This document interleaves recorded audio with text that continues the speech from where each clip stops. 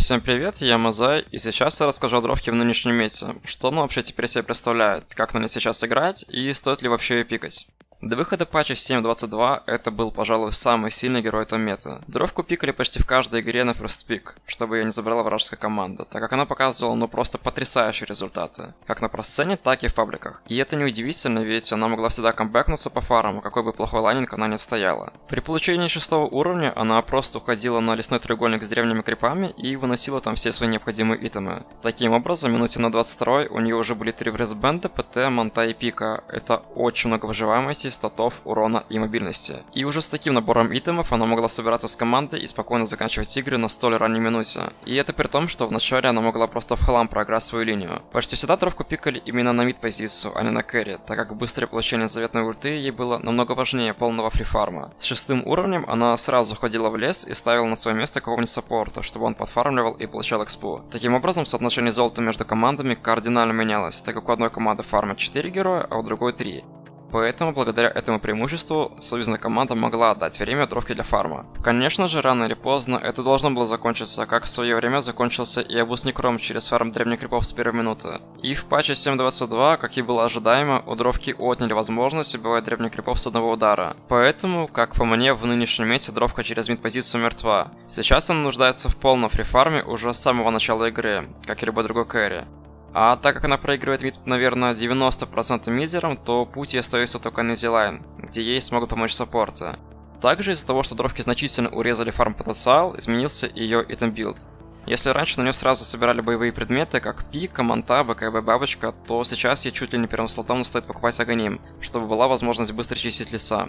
Таким образом, при покупке Аганима вы сможете также быстро фармить и получать свои предметы, как и до нерфа. С Аганимом вы убиваете древний спот примерно так же быстро, как и раньше, но при этом вы еще и фармите маленькие кемпы гораздо быстрее, чем до нерфа. Но взамен вы будете лишены возможности помогать своей команде в драках, как Дровка это могла делать раньше. То есть, если до нерфа вы были способны полноценно фармить и одновременно драться, то сейчас вы будете полностью привязаны к лесу и помогать команде в тимфайтах у вас почти никогда не будет возможности. Также, возможно, иногда имеет смысл покупать добавить молнии вместо Аганима или даже Мидас, если он получается ранее. Но в любом случае дровке необходим какой-нибудь стартовый предмет на фарм, чтобы компенсировать этот нерв. Иначе, если будете закупаться через стабильный итабилд на тимфайты, то на 30 минуте вы будете бегать только с двумя-тремя слотами, а вражеский кор вас просто вынесет за счет перефарма. Теперь дровка это такой типичный кэрри, который фармит где-то полчаса, выносит свои слоты и идет заканчивать игру. В общем, патч 7.22 значительно урезал возможности дровки и сделал из нее героя с узконаправленной задачей по игре. Также сейчас стоит пикать дровку на закрывающие пики, а не на ФП, так как теперь ее очень легко законтрить по игре, просто пикнув сильную харду и в целом агрессивный пик, который способен рано захватить карту и закончить игру, как собственно играется против того же антимага. Желательно, чтобы у дровки с команды была какая-то синергия, и как минимум один core должен быть дальником. То есть, чтобы вы могли бафать условную темпларку SF Шторма, и за счет этого они выигрывают lane и могут спейсить вам время для фарма. А если еще и саппорты будут дальниками, и в харду пикнется какой-нибудь Синекр, ВР или Инча, то вы дадите тиммейтам просто колоссальное преимущество. А чем больше преимущество вашей команды, тем дольше они смогут сдерживать врагов, и тем больше давать им времени для фарма.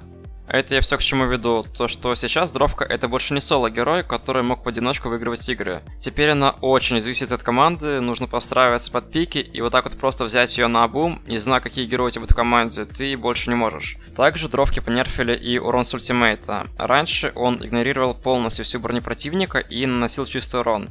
Теперь он игнорирует только белую броню, а зеленая все-таки высчитывает дэмэдж. Но опять же, это в основном сказывается только при убийстве силовиков в поздней стадии игры, когда они покупают себе Керасу, Шиву, Лотосорб, Блэдмейл и прочие итемы на броню. Против лавкачей, то есть кэрри, которые обычно закупаются на статы, или магов, которые вообще не закупаются на броню, это почти незаметно, поэтому данный нерв, но он такой, не особо критичный.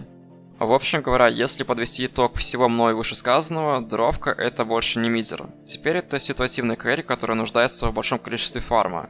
Она все так же сильна, если ее пикать в подходящих случаях, и если играть по правильному геймплею и итем-билду.